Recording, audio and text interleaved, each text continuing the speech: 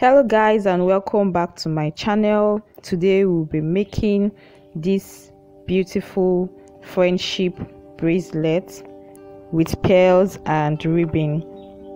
So for this project will be materials needed are ribbon then a thread a scissors and my pearls also known as beads in this container right here. And i'll also be needing a, a beading needle and I've tied it at the bottom. So the next thing to do now is to cut out my ribbon like so. And then start the project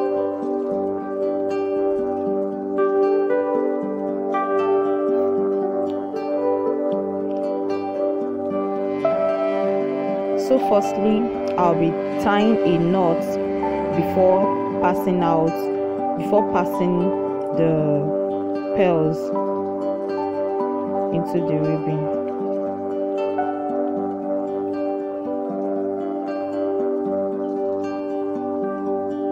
So i'll pass in the needle into the knotted part and then i'll be working with this gold and silvered pearl. So i'll start with the gold first. So i'll pass out the thread like so and then pass it right into the ribbon again to secure it.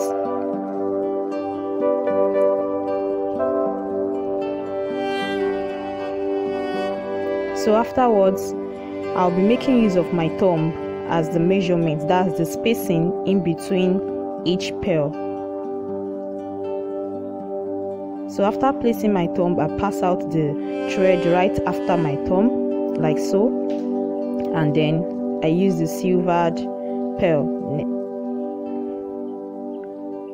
And then i pass it right out of the ribbon to secure it once again. I continue by using my thumb again as the spacing in between and then put in another pearl.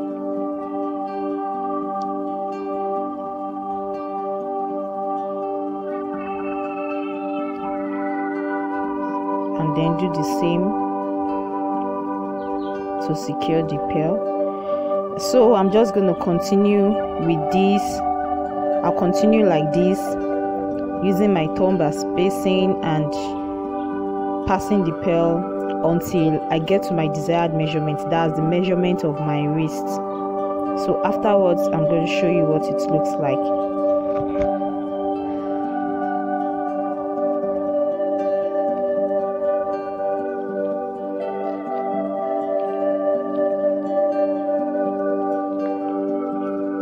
So I just gently pull the thread once I've gotten to my desired length and measurement. And I'm going to put it around my wrist to see if I've if I've gotten to my desired measurement. But as you can see now I'm almost done. So I'm just going to tie a knot with the thread. I'm just going to secure that place firmly and then